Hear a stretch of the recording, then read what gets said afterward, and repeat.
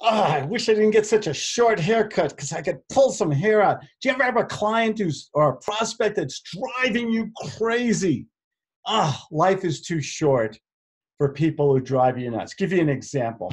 Got a guy, we negotiated a, a real estate deal, and you know your Uncle Claude, I'm very specific about time and date and contracts and everything. Get commitments up front and I've talked about that just recently in another video. Okay, don't go to a meeting unless you you know you know specifically they're going to be there. And get commitments. Call them a few minutes before you get in your car. Stuff like that. Anyway, I've got this one guy. Okay, and I'm the question I'm asking you is should I fire him? Do you think I fired him? And we negotiated everything, did the contract, sent him the contract. Now all of a sudden, all these little problems. Oh, Claude, I don't like to send electronic documents back and forth. Uh, why don't we get together again? Um, I want to edit and make some revisions here and there and everything. And I know you want to move forward, but I need I need to I take uh, these things very seriously. The guy wants to move like an effing snail after we negotiated and did everything.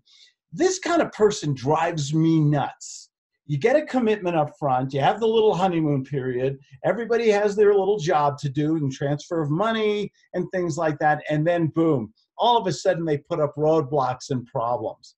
So what am i going to do? I'm going to fire this dude. Life is too short. Now listen i don't want to sound like a big shot. When i was first starting business i put up with these characters. These these people who just oh they're like you know what a gadfly is? You know that fly when you're outside? And it keeps following you and it won't go away. There are people like this. There are people also, um, they're pathological liars. They go through life lying all the time. There are people who are sociopaths. They don't care about other people's feelings or anything like that.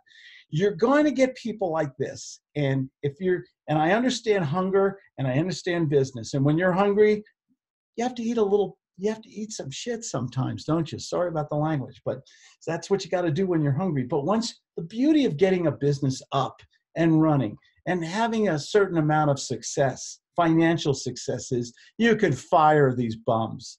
And that's what I'm going to decided to do. Life is short. Some people just want to make you miserable. They can't keep commitments.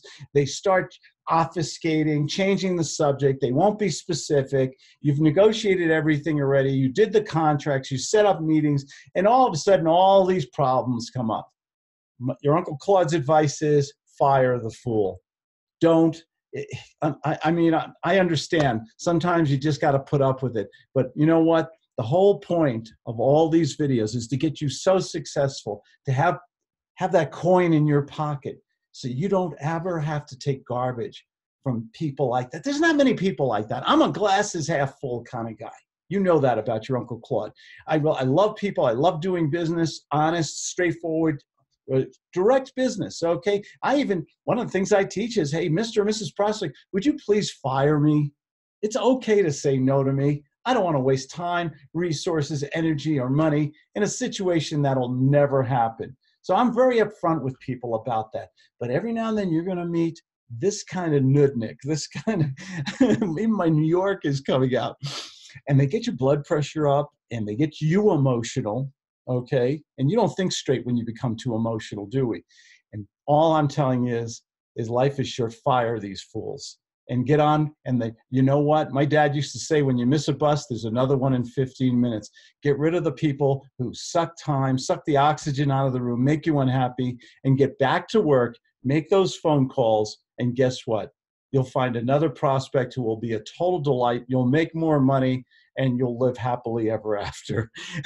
because nobody, you know what's coming, nobody deserves success more than you. And this is your Uncle Claude here. I do answer my own phone, 970 281 5151. Go to my webpage, claudediamond.com. If you like these videos, this motivates me when I get these thumbs up. Share them with your friends. Hit the subscribe button and the little bell if you want to get up when I do these videos. I try to do them on a pretty regular basis.